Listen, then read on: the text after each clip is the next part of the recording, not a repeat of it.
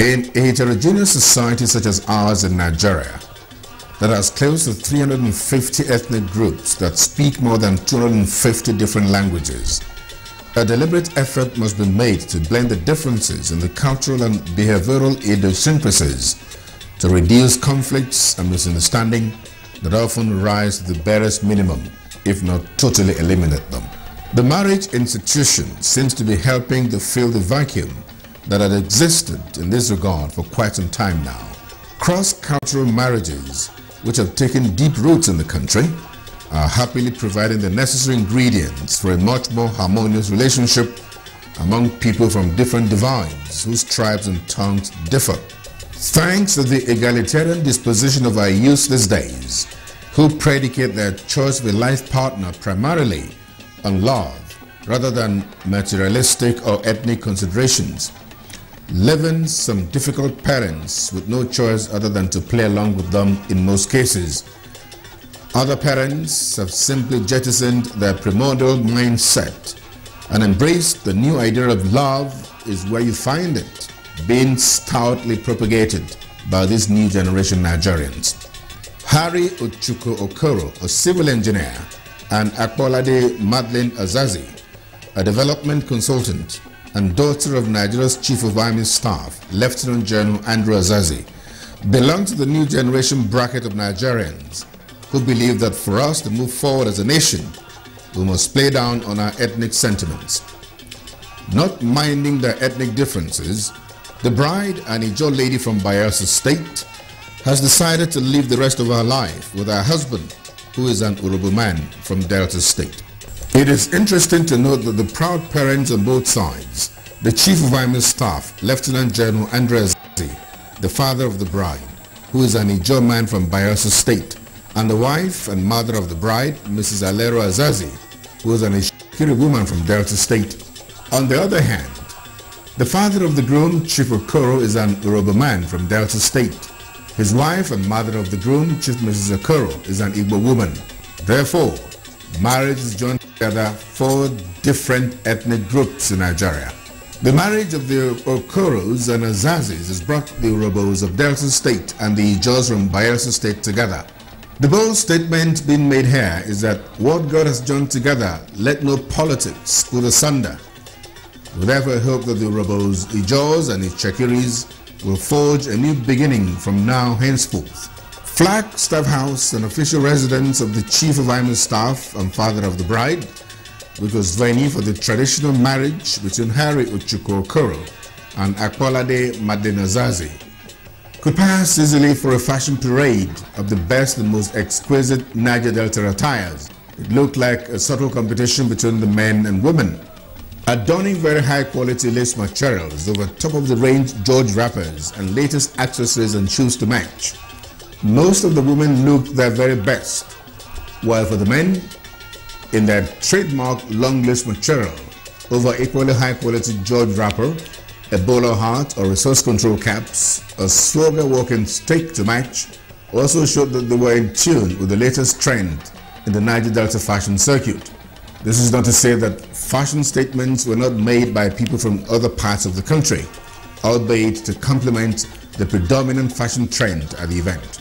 To kickstart the traditional wedding of Harry Ochuko Okoro and Madeline Akbolade Azazi, members of the group's family stormed their in-laws abode in grand style and waited eagerly for their Azazis, whom they exchanged pleasantries with on arrival. The wives of some service chiefs attended the event in solidarity with the mother of the bride and wife of the Chief of Army Staff. They included wives of the Chief of Naval Staff, Hajia Fatima Adekeye, the Inspector General of Police, Mrs. Ehindero, and Chief of Air Staff, Mrs. Dike. Madam Azazi, mother of the Chief of Army Staff, who had the special privilege of witnessing the marriage of her granddaughter, radiated the feeling of perhaps the happiest person at the event with her graceful looks.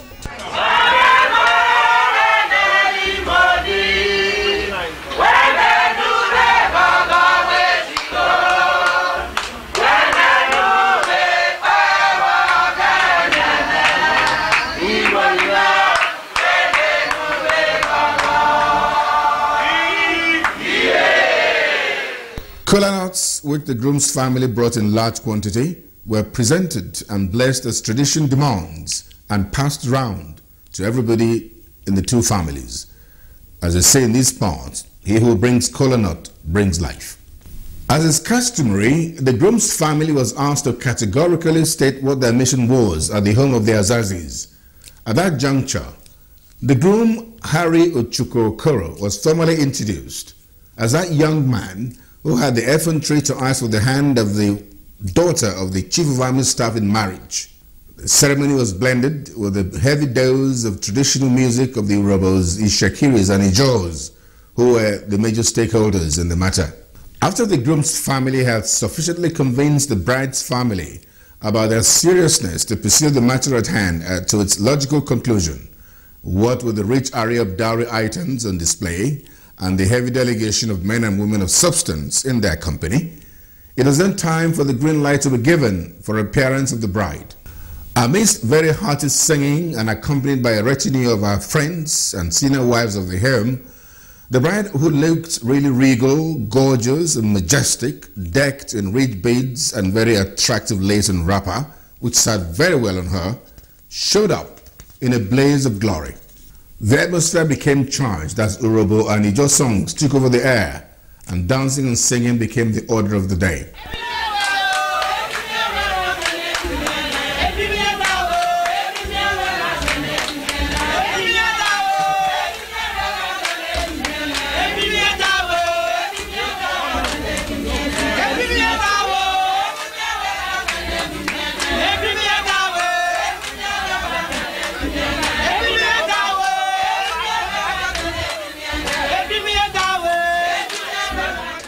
The beautiful bride sat with her parents throughout the formal aspect of the traditional wedding. To be sure that it was not a decision the bride took with her eyes closed, she was asked in the local Ijo language if indeed she's made up her mind to marry her husband, to which she answered in the affirmative and received a thunderous applause for it. In a gesture of gratitude to the bride's family, the groom, his father, and selected members of their family collectively thanked the family of their in-laws and also danced heartily to demonstrate their joy at the occasion. At the guarding of the flag house, where reception was later held, it was a carnival of some sorts, as Barrister Smooth, a Warri-based musical outfit, and a number of other cultural troops entertained everyone.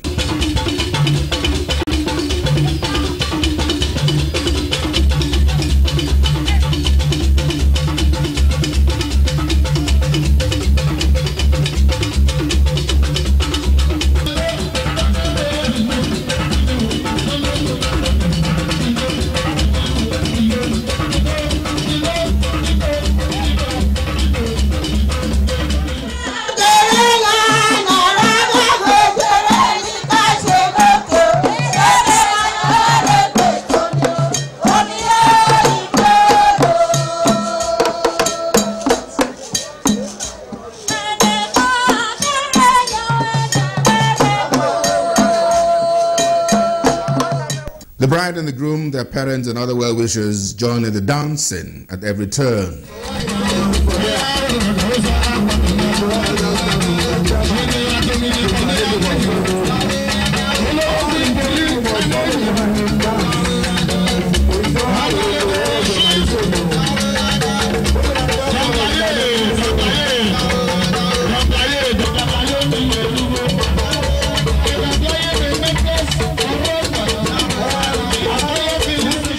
The highlight of the reception was the cutting of the wedding cake, which are the dummy of the way the couple turned out at the occasion on it.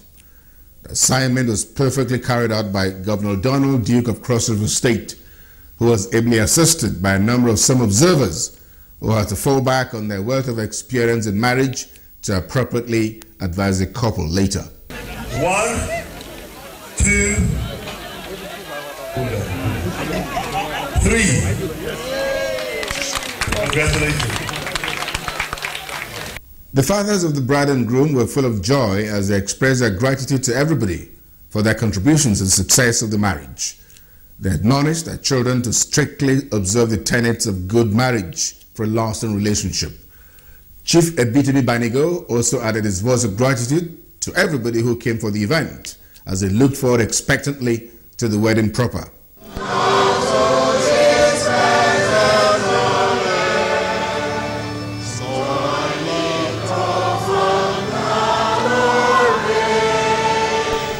Catholic Church of the Assumption, Falomo, Ikoyi, Lagos, which has played host to a string of celebrated weddings in the past, added yet another wedding that will go down in history as one that drew the largest attendance of the movers and shakers in the society on Saturday, the 20th of January 2007.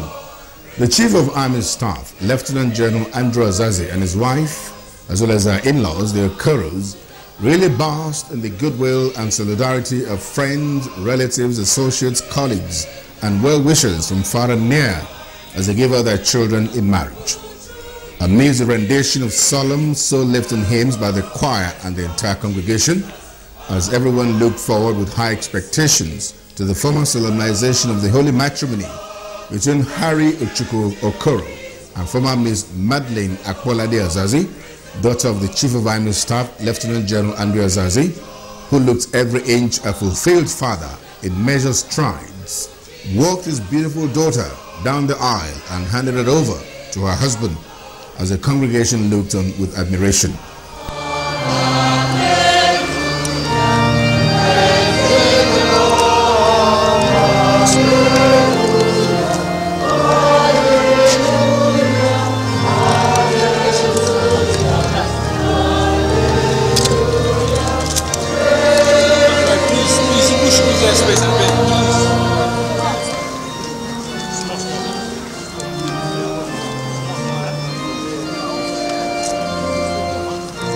More soul-lifting hymns rent the air afterwards, which led to the very solemn aspect of the service, which was when the couple said their marital vows and exchanged wedding rings in the presence of the officiating minister as everyone looked with rapt interest and attention.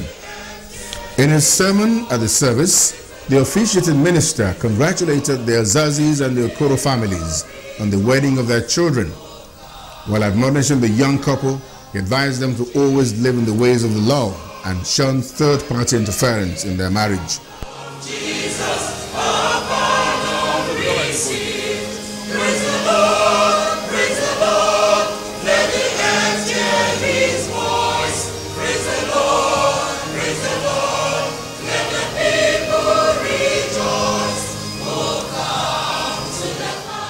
During the Thanksgiving session, Friends and associates of both families trooped out in their numbers to join the couple, who radiated a lot of joy as they sang and danced, acknowledging cheers from different guests who honored them with their presence.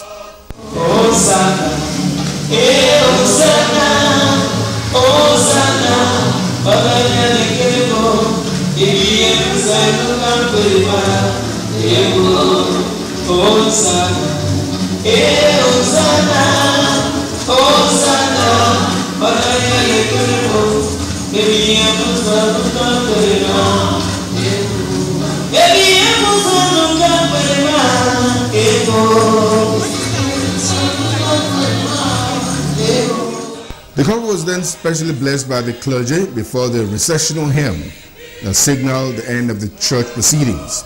As the bride and groom left the church, they acknowledged the cheers and pleasantries from some members of the congregation were radiating smiles of gratitude and accomplishments all the way.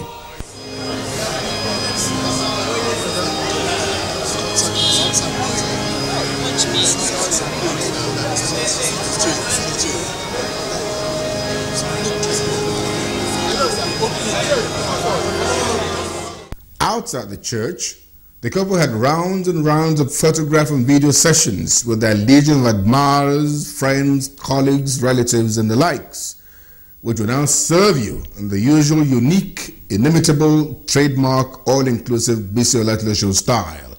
Enjoy it.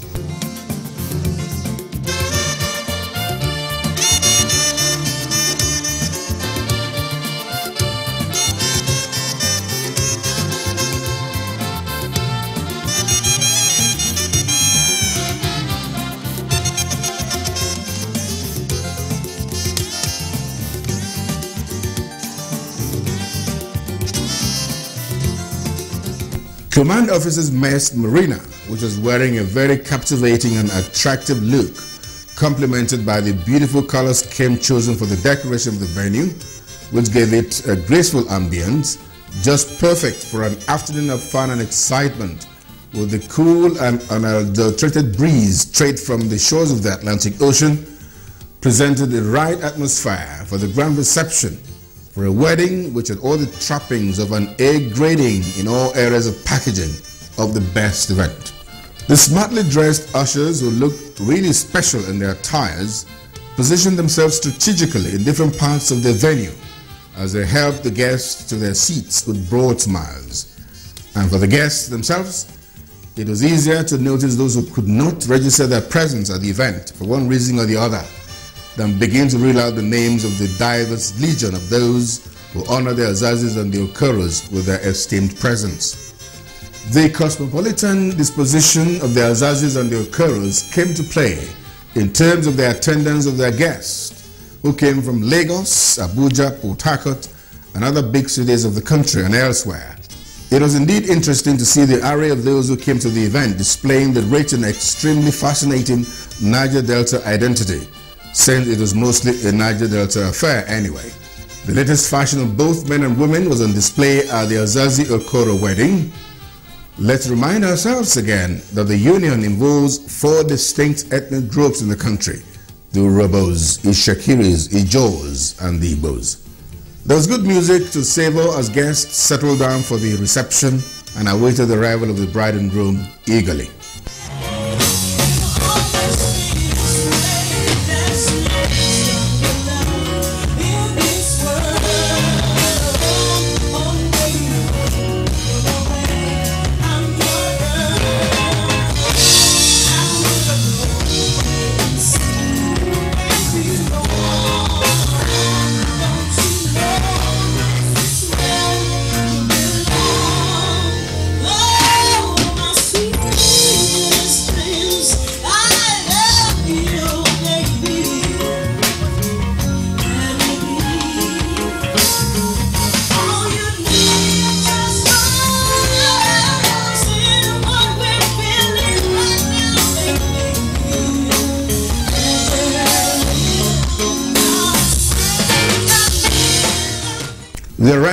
Bride and groom, as usual, in company of their groomsmen and bridesmaid, as they shook it down to the music that ushered them into the arena, practically woke up everybody. And that indeed signaled the commencement of the reception, which was chaired by retired Colonel Are, the Director of State Security Service, and long-standing friend of the father of the bride, who himself was an officer of the Intelligence Corps of the Nigerian Army before his appointment as the Chief of Army Staff.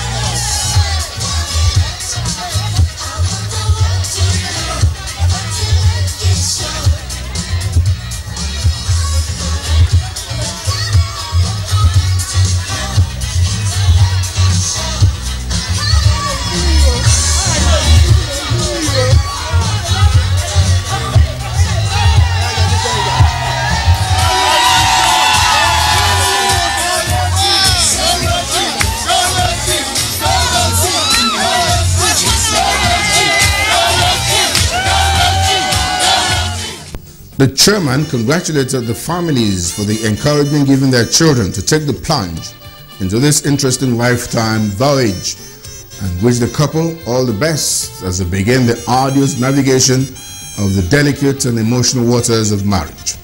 A lot of creativity and ingenuity was put into the design of the cake, which took everybody's breath away, and the bride and groom indeed had the golden opportunity to show to the world once again how fond of each other they really are as they held on tightly to each other all through the exercise. The toast of the couple was another interesting aspect of the event. The love story of the couple is a very short and simple one, spanning less than a year. Captivated me was her smile. You know, her smile was very, very radiant, you know, a smile that uh, symbolizes the light that you see at the end of a dark tunnel. It's a smile that says one thing that means so much, you know. So after that, I wanted to again, and um, we saw her, and we just kicked it off.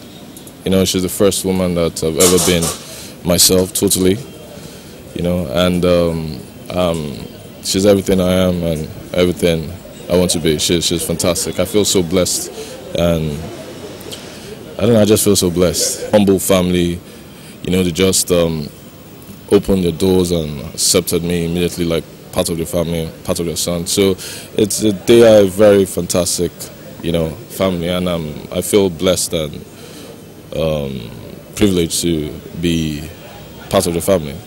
I finished from IFE and I also went to the University of Bath. Um, right now I'm a development consultant. I'm consulting for the Bayelsa State Government. So what course did you read? My first degree was in economics and the second one was in international development. Romantic, um, self-giving, very playful. Everything, everything seems really good, really nice, and I'm very, very thankful to God. Marriage is about tolerance. Marriage is about commitment. Marriage is about love. Marriage is about sharing and um, forgiveness. Those are the things that will carry on the marriage. Like the chairman said, we married for 31 years. And if you don't have the element of those things, but above all, you must be close to God to make sure that your marriage is sustained. To give her their daughter. But I think it's also important that you look back at life and say, I've been blessed by God, immensely by God. I want to thank God for everything that's happened to you. It's not just about giving out your daughter, it's about the whole process of your life. I'm very convinced they love themselves very well. So I only want to pray and wish that they continue to love themselves. They, they are very compatible. That's what made us parents agree that they should get married and live together well. They are very, they are very close. The throwing of the bouquet of flowers by the bride was another engaging part of the ceremony, which evoked a lot of excitement from the audience. The groom demonstrated that he was fully in charge when it was time for the bridal dance, as he made it a strictly just for the two of us affair.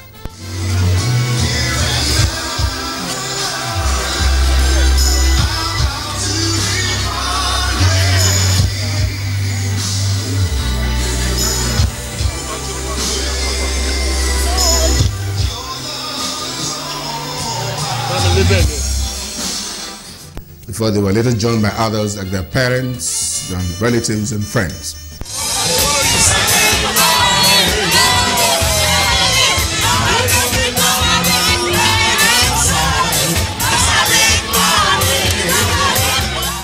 The groom father brought his abiding love and burning passion for his wife to bear in his response to the toast. It was as if he drew a lot of inspiration from the looks on her face as he responded to the toast. It is therefore safe to say that these two have definitely found love. Our prayer is that they should remain friends to each other forever, with all the good things that marriage brings to the bargain. The very exciting marriage between Harry Ochuko Okoro and former Miss Akbolade Madeline Azazi, daughter of the Chief of Army Staff, Lieutenant General Andrew Azazi, came to a fascinating end with exciting music which everyone partook in to the very end. We congratulate the Chief of Army Staff, Lieutenant General Andrew Azazi, and his wife on the success of the wedding of his darling daughter.